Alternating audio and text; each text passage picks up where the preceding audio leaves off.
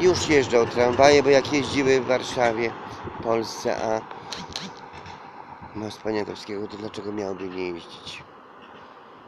Ale my zapraszamy do Anglo-Ameryki Białystok. Nie do tramwajów, tylko do świadków Jehowy. Bo tu nie ma, tu są tłumy na moście Poniatowskiego. Fałszywych braci, uważaj, w zboże, w śródmieście.